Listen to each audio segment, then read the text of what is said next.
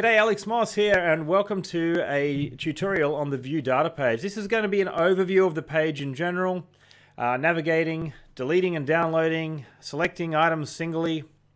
And as you can see, I've got a search running up the top here. This is indicated by this circular uh, notifier up here. As, if this is rotating right now, it means that there is a process running, and currently we're going to be adding items to the View Data page as it finds items that meet our criteria and filters. Now you can see here as well that it also says that we have a limit of 20,000 items that we can store on this page.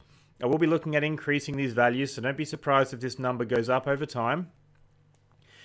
And uh, in this overview, I wanted to have a look at a few things. So first of all, um, the navigation bar is here as normal, and you would have accessed this page either from Product Search View Data, the blue button that appears over on the top right here, or you will have accessed it from the drop-down menu here, view data. Now the view data page in itself is very similar on uh, the reverse search. The reverse search view reverse is very similar to this page and wholesale view reverse is very similar to this page.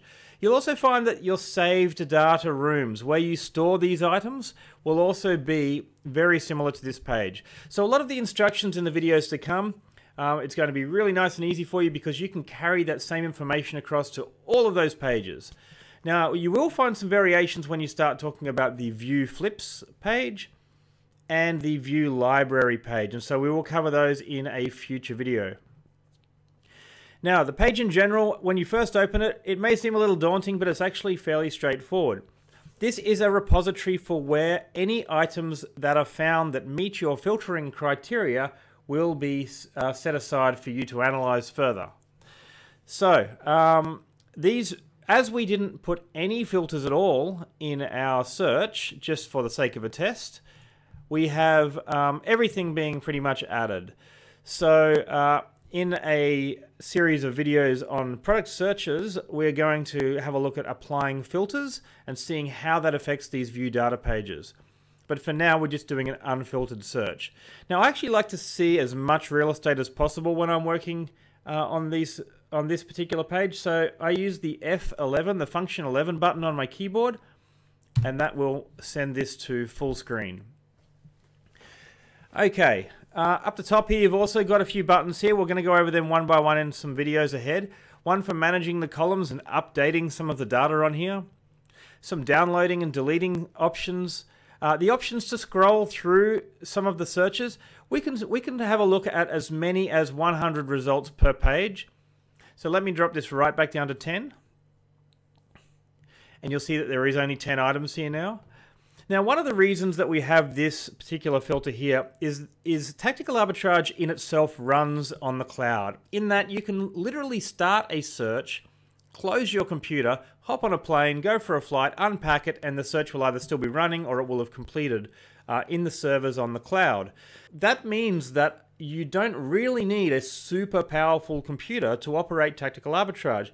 You could do it on a, a simpler or older computer or even an iPad and still initiate a search. Where you may experience some kind of sluggishness in your computer is if you're trying to uh, to present too much too much information on your screen at once for your browser's cache and for your local computer's um, capabilities. So in that case, we have allowed this opportunity for you to um, drop the number of results per page down to a lower amount. And in these instances for older machinery, you will notice an improvement by doing this. However, I have a fairly decent computer and I'm going to set this to 100 and in many people's cases, um, setting it to 100 will be more than suitable. Now doing this, of course, adjusts the number of pages that you can cycle through uh, relevant to the uh, number of items that are available for you to analyze. And it'll show you as well on the right hand side here that at this moment we are showing 1 to 100 items of 1,885 entries. Okay, so that's all nice and neat. We have uh, options to select products singly here or we have options to select all or deselect all. We can delete everything that's here with a click of a button. Now doing this by itself will give you a warning so you have the option to back out of there. In this case we don't want to delete everything so I'm going to cancel this command. And we have the option to download everything that's in the table. Now there's a couple of flavors of downloading to choose from. The two that I'll cover right now is download as a CSV and download as a proprietary TA file. Now, a proprietary TA file will essentially bundle everything that's on the page here into one little .ta file. You won't be able to open that file in Excel or anything, but it is super handy for you just to, to just back up that TA file onto your computer somewhere and then re-import that TA file either into a friend's computer who is operating their own installation of tactical arbitrage or uh, maybe if you have uh, closed your account for a while and you want to reopen your account, you're ready to get back into Fulfillment by Amazon, now is a good time for you to reinstall your TA files back inside your new uh, installation, of, inside your new uh, membership of Tactical Arbitrage. So uh, that is the TA file. Now, uh, that was originally released before this download all as a CSV file. Now, so uh, the good thing about this TA file is the file that's sitting on your computer is essentially protected. Nobody else can really um, steal your computer and then use that TA file unless they have their own installation of Tactical Arbitrage to import that into.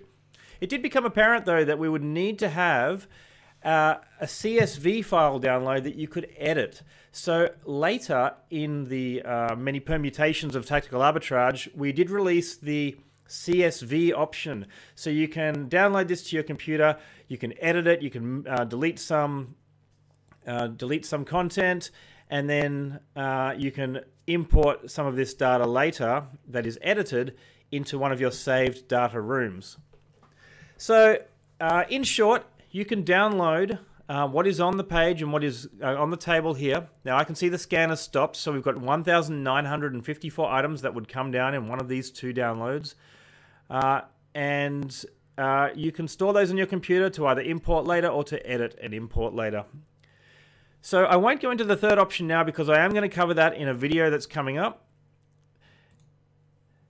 Uh, the other thing that you should need to know on the page before we move to the next video is essentially the layout of the page. So aside from these operating buttons at the top here, again, many of which we're going into in the, in the videos that are coming up, and uh, again, this set of buttons here, we have down here a table. Now, the table actually encompasses rows and columns. On the rows here, we talk about the particular um, arbitrage opportunity that we're looking at analyzing. And uh, the columns actually give us the data on each of these opportunities um, that we may want to analyze for our own uh, for our own personal um, checks and balances to see whether or not this might be a product that's suitable for us to uh, to buy and then resell for profit. So um, there are many different uh, pieces of information that we're going to need to cover in every single one of these cells. But don't be daunted because although it does look a little confusing at first glance, I can assure you that it does get much easier to work with once you know the basics.